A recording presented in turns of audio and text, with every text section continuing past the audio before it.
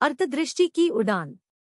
दुनिया में कब किसी से मुलाकात हो जाए यह कोई भी नहीं बता सकता। मुलाकात होने वाले व्यक्तित्व को जानकर कभी हमें अचंभित भी होना पड़ता है। एल, हम लोग हमारी दृष्टि से ही दुनिया का आकलन करते हैं। एल, लेकिन कभी कभी विस्तृत स्वरूप में दृष्टिवान व्यक्तित्व अगर हमें पता चले तो लगने लगता है कि हमारी सोच कितनी मर्यादित होती है। एल ऐसे ही एक व्यक्तित्व को जानने का सौभाग्य मुझे प्राप्त हुआ एल। मेरी पहचान उनहत्तर वर्ष आयु के श्री हेमंत पाटिल जी से हुई, एल वे जब हम जैसे दृष्टिवान थे, तब उन्होंने औषध निर्माण क्षेत्र में डिग्री हासिल की और उन्हें विदेश में औषध निर्माण क्षेत्र में दवा का संशोधन करने का मौका प्राप्त हुआ। एल जब वे अर्सेनिक नामक रसायन से होने वाली विषबाधा पर दवाइयाँ ढूँढने का संशोधन कार्य कर रहे थे, एल तब प्रयोगशाला में वह रसायन अचानक विस्फोटित हुआ। एल इस घटना में श्री हेमंत पाटिल अपनी दृष्टि गवा बैठे। उस वक्त उनकी आयु थी सिर्फ़ 26 वर्ष की। ऐसी दुर्घटना से बाधित व्यक्ति का सामान्य रूप से पुनर्वास प्राप्त करना बहुत ही मुश्किल होता है। अलभरी जवानी में दृष्टिहीनता व्यक्तित्व को धंधोड़ देती है और उनकी आगे बढ़ने की उम्मीद ही नष्ट हो जाती है। एल इस दुर्घटना के बाद वे दृष्टिहीनता का इलाज दुनिया भर करने के लिए भागदौड़ कर रहे थे। एल उन्होंने इलाज के सभी तरीके अपनाए और जब एक वर्ष के दौरान उनकी जमा साढ़े तेरह लाख रुपयों की पूंजी खत्म हो गई तो आखिरी में उन्हें अपने पैतृक देहात में जाकर रहना पड़ा। एल शुरू शुरू में सबने उनकी बहुत अच्छी देखभाल की, जैसे जैसे दिन बीतते गए वैसे वैसे वे स्वावलंबी होने के प्रयास में बाधा डालकर कहने लगे कि, हम आपको जीवन भर संभालेंगे तो यह सब करने की आपको ज़रूरत ही नहीं है। जीतना पाटिल जी हर सामान्य व्यक्ति की तरह ज़िम्मेदारी उठाने की कोशिश करना और सीखना चाहते थे। उतना ही अपनों के ओर से विरोध बढ़ता गया। ऐसे में एक आम छोटी सी बात के लिए उनके स्वाभिमान पर करारा प्रहार हुआ। एल तभी उन्होंने निर्णय किया कि अब मैं किसी के ऊपर निर्भर नहीं रहूँगा और जल्द से जल्द आत्मनिर्भरता प्राप्त करने की कोशिश करता रहूँगा। एल, उस वक्त ना तो वे स्वयं चल फिर सकते थे, न ही उन्हें ऐसे किसी प्रशिक्षण के बारे में जानकारी थी। एल, वे देहात छोड़कर बम्बई के उपनगर डोम्बिवली आकर किसी के सहारे रहने के लिए आए। संशोधन क्षेत्र में कार्य करने वाला मन अब दृष्टिहीन व्यक्ति अकेला कैसे चल फिर सकता है? इस विषय पर कार्यरत हुआ और उन्हें समस्या का समाधान मिलता गया। एल जिस इमारत में वे रहते थे, उस इमारत के छोटे छोटे बच्चों के साथ दोस्ती कर वे अहाते में खेलते खेलते घूमना फिरना सीख गए। यह दायरा बढ़ते बढ़ते रोड खेल का मैदान और रेल स्टेशन तक बढ़ता गया, वैसे ही बम्बई शहर की लाइफ लाइन कहलाने वाली लोकल ट्रेन में सवारी कर बम्बई जाने तक बढ़ता ही गया। एल, इस दौरान रास्ते पर नए नए दोस्त मिलते गए और परिस्थितियों का आकलन करने वाला उनका मन मौका ढूंढता रहा। एल, पहला मौका फुटपाथ पर खिलौने बेचने का मिला, जिससे वे अपनी कमाई खुद कर सकेंगे। यह विश्वास जब उनके मन में आ गया और वे डोम्बिवली के फुटपाथ पर प्लास्टिक के खिलौने बेचने लगे एल एक दिन। ऐसे ही नए दोस्त ने जानकारी दी कि मैं एक दृष्टिहीन व्यक्ति से मिला जो एक अफसर के पद पर नियुक्त है। एल पाटिल जी ने बहुत प्रयासों के बाद उस अफसर को बम्बई में ढूंढ निकाला। एल तब उन्हें National Association for the Blind India का पता मिला, एल वहाँ जाकर उन्होंने उनके विविध प्रशिक्षणों की जानकारी प्राप्त की और वे एक के बाद एक प्रशिक्षण प्राप्त करते रहे जैसे कि पुनर्वास टेलीफोन ऑपरेटर, सेवा योजन अधिकारी और व्यावसायिक अधिकारी। यह प्रशिक्षण करते करते वे न ही शिक्षा ग्रहण कर रहे थे पर कैसे सिखाया जाता है, इसका भी आकलन कर रहे थे इसी का लाभ उन्हें मिला और वरिष्ठों ने उन्हें समाज कल्याण अधिकारी के रिक्त पद पर चार महीनों के लिए काम करने का मौका दिया। इस कार्य के दौरान उन्होंने एक दृष्टिहीन व्यक्ति जो माता पिता के देहांत के बाद गुमसुम और गुंगा हो चुका था और जिसे डॉक्टरी या मानसिक तज्ञों के इलाज के बाद भी चार वर्षों तक इसी परिस्थिति में रहना पड़ा। एल उस पर डेढ़ महीने तक काउंसिलिंग कर इस स्थिति से बाहर निकालने में सफल हुए। उसे ब्रेल लिपि चलने फिरने का प्रशिक्षण देकर सरकारी दफ्तर में रोज़गार भी मिला दिया है।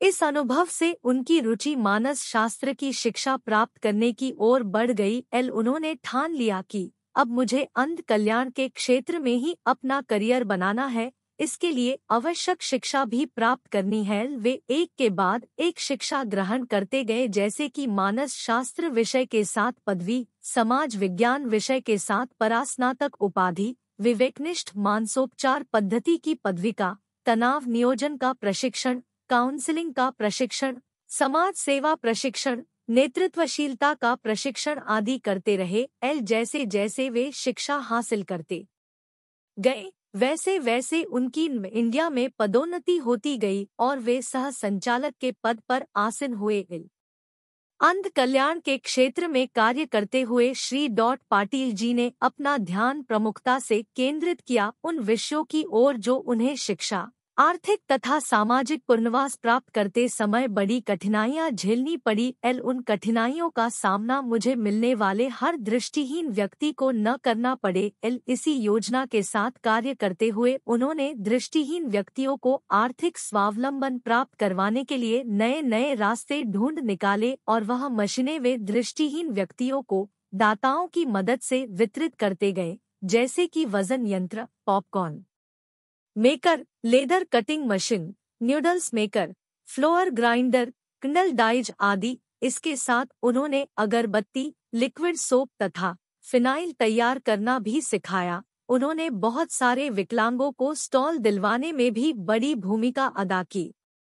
आम लोग फुटपाथ वाले व्यवसाय को बहुत कम आंकते हैं और उसे करने में शर्माते हैं। जब पाटिल जी ने फुटपाथ पर चलने वाले व्यवसायों के बारे में संशोधन किया तो पता चला कि कम से कम लागत में ज़्यादा से ज़्यादा मुनाफा कमाने का यह एक आसान तरीका है।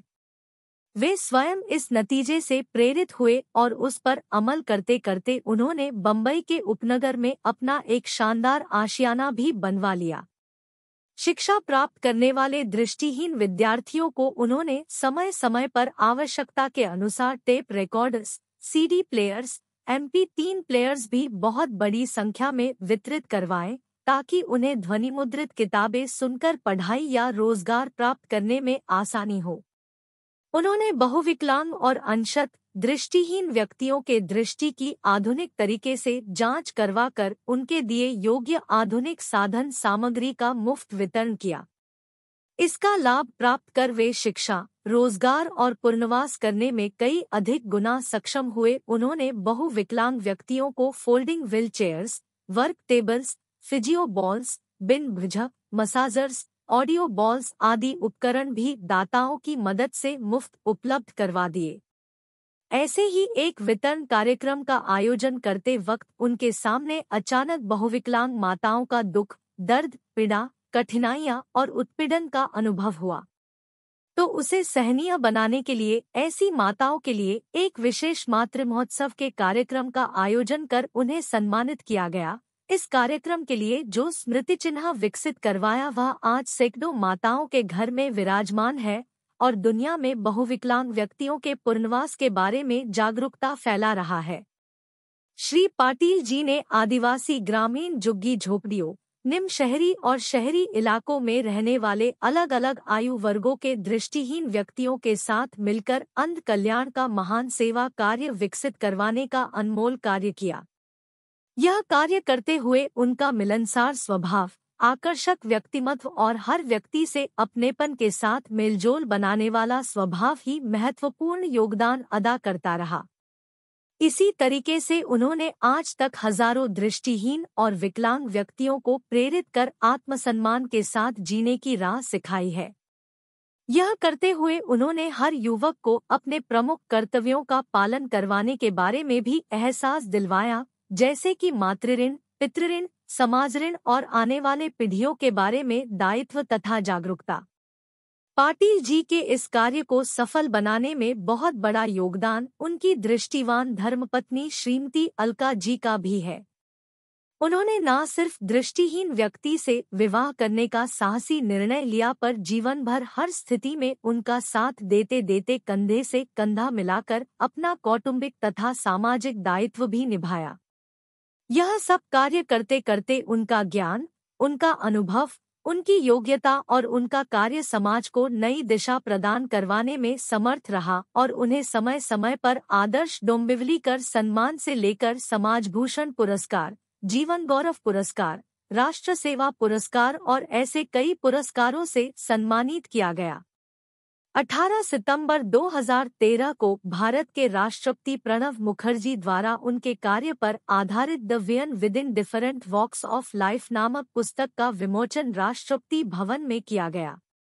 हाल ही में 23 अगस्त 2021 को कोरोना काल के दरमियान उन्होंने जो विकलांग कल्याण के में बारे कार्य किए, उसके लिए महाराष्ट्र राज्य के राज्यपाल भगत सिंह कोश्यारी द्वारा उन्हें सेवावृत्ति सम्मान चिन्ह देकर गौरवान्वित किया। ऐसे ही उनके कार्य सिर्फ़ विकलांगता के क्षेत्र में ही नहीं, लेकिन सर्वसाधारण समाज के लिए भी उपयोगी सिद्ध हो रहे हैं। इस उदाहरण से यह तो निर्विवादता से सिद्ध हो रहा है। कि सामान्य व्यक्ति के दृष्टि से अंतदृष्टि की व्याप्ति बहुत बड़ी होती है।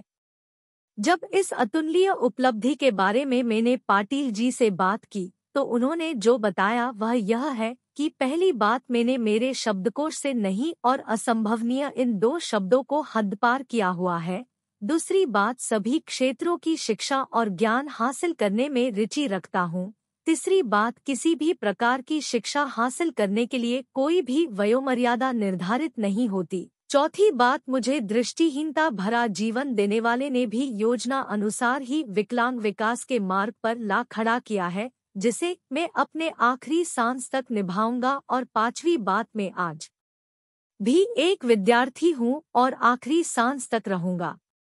मैं हर अनुभव से नई नई सिख लेता ही रहता हूँ। कर्मण्य वादिकारस्ते माँ फलेशो कदाचन इस संस्कृत उक्ति पर आधारित श्री पाटिल जी का कार्य आज भी शुरू है। इंडिया से 2013 में निवृत्त होने के पश्चात उन्होंने अपने ही उपनगर डोम्बिवली में वियन इंसाइट फाउंडेशन नामक विश्वस्त संस्था का निर्माण कर उसी के दफ्तर से अपंग कल्याण के क्षेत्र में अपना योगदान दे रहे हैं। वहाँ से उन्होंने उपनगर में रहने वाले विद्यार्थियों को पढ़ाई हेतु ध्वनिमुद्रित पुस्तकें उपलब्ध करवाने के लिए केंद्र चलाया।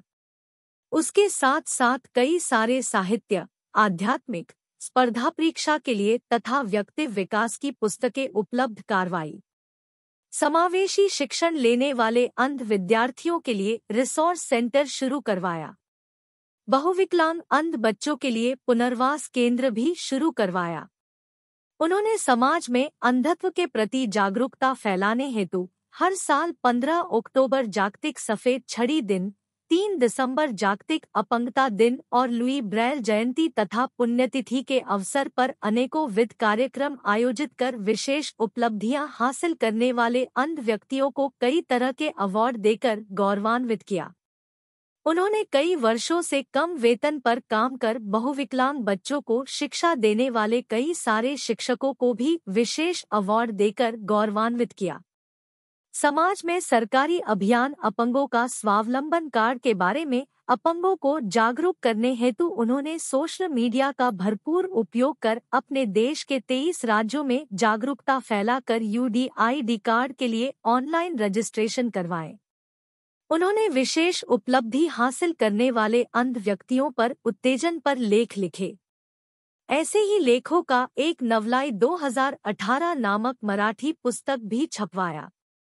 उन्होंने उपनगरीय इलाकों में रहने वाले कई सारे अपंगों को सरकारी, नीम सरकारी तथा स्थानीय एजेंसीज द्वारा कई तरह की मदद उपलब्ध करवाई जैसे कि आवास योजना, रोज़गार और शिक्षा के लिए आर्थिक मदद अंत्योदय योजना, निर्वाह भत्ता, निराधार योजना आदि। उन्होंने अपने कार्यालय से लोगों को समुपदेशन तथा शुद्ध उपदेश देकर हज़ारों दिव्यांगों को कई तरह के लाभ पहुँचाए। विशेष उल्लेखनीय जीवन के मध्य आयु में आकस्मिक तरह से अंधत्व पाने वाले व्यक्तियों को रोज़गार भी दिलवाया। उन्होंने शुरू किया हुआ संगणक प्रशिक्षण केंद्र लोगों को रोज़गार देने में अच्छी भूमिका अदा कर रहा है। उन्होंने अपंगों के लिए साहित्य सामग्री मुफ़्त में उपलब्ध करवा देने का अनमोल कार्य किया है। कहते हैं, ना जहाँ चमत्कार होता है, वहीं पर नमस्कार किया जाता है। और मुझे भी पाटिल जी की दिव्य दृष्टि का परिचय होने पर उनकी दिव्यता का साक्षात्कार हुआ। जब मैंने पाटिल जी से पूछा, आपने दृष्टिहीनता आने के बाद आत्मविकास कर यह असामान्य मंजिल प्राप्त की, इसका क्या रहस्य है? तो उन्होंने बताया कि इंस्टीट्यूट ऑफ़ साइकोलॉजिकल हेल्थ द्वारा विकसित की गई एक प्रार्थना और उस पर मैंने किया हुआ अनुसरण ही इस रहस्य का एक राज है। वह प्रार्थना है कि जिसे टालना नामुमकिन हो, दिल से कर स्वीकार। जीन लम्हों को बदल सको, जा हिम्मत से उस पार। मर्यादा है कौन सी मेरी, क्या है शक्ति स्थान। पहचानों में गौर से इनको बुद्धि दे भगवान। इन चार पंक्तियों ने मुझे सिखाया कि गमों का दौर भी आए तो मुस्कुरा के जियो, घटा में छुपकर सितारे पनाह नहीं होते, अंधेरी रात के दिल में दिए जला के जियो। ज़िंदगी किसी मंजिल पे रुक नहीं सकती। हर एक मकाम के आगे कदम बढ़ा के जियो श्री पाटिल जी विकलांग व्यक्तियों को अपना जीवन यापन करने में आने वाली हर समस्या का निवारण करने में माहिर माने जाते हैं। लोग तरह तरह की कई समस्याएँ उनके पास आकर प्रस्तुत करते हैं और समाधान पाकर कहते हैं, लाख दुखों की एक दवा है क्यों ना आजमाए जब किसी व्यक्ति को आत्मसम्मान से स्वावलंबी बनने की राह दिखानी होती है? तो पाटिल जी बताते हैं कि कभी भी शत प्रतिशत आर्थिक और सामाजिक पुनर्वास सिर्फ़ हमारे आसपास वाले विकलांगों को दृष्टि में रख नहीं होगा। हमें हमारे आसपास वाले निन्यानवे प्रतिशत दृष्टिवान लोगों को ही ध्यान में रख उनसे मुकाबला करना चाहिए। इन्हीं दृष्टिवान लोगों से अगर हम दोस्ती बढ़ाएँ तो वे हमारी खामियाँ दूर करने में सहायक सिद्ध ध होते हैं और हमारी तरक्की की राह आसान हो जाती है। दुनिया में सबसे ज़्यादा अमीर व्यवसायिक ही होता है, न कि नौकरी करने वाला। इसलिए हमें हमारी प्रगल्भता, मार्केटिंग क्षमता और रणनीति पर केंद्रित करने से ही हमारा सही ढंग से विकास होगा। कभी भी नौकर बनने से मालिक बननो अच्छा। दृष्टिवान लोगों की दुनिया ही विकलांगों के लिए परिपूर्ण प्रशिक्षण केंद्र है, यह धारणा हम सबको सुनिश्चित कर लेनी चाहिए। यह सब सुनकर मेरे स्वयं के जीवन भी आत्मविकास की ज्वाला धधक उठी। मेरे जैसे हज़ारों व्यक्तित्व पाटिल जी से प्रेरणा प्राप्त कर अनेकों अनेक ऊंचाइयाँ प्राप्त कर दुनिया के सामने दीपस्तंभ बने हुए हैं। यह है पाटिल जी की आसमान की बुलंदी को छुने वाली अंतदृष्टि की उड़ान। देवेंद्र निकोसे। बालाघाट, मध्य प्रदेश।